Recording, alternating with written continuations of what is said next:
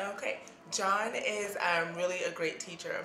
I've seen him transform people's work from I've seen people go up there and do like really dry monologues. It starts out really dry and he goes up there and he says something in their ear and then like poof, like magic, it's just something really magical and entertaining. And he's also a really, you know, great guy. He's accessible as a teacher, which is very important. You know, when you're studying with a teacher, you want to be able to, to reach him if you have any random questions or, you know, concerns or issues. So that's a very important thing. And so you should definitely come and study with John.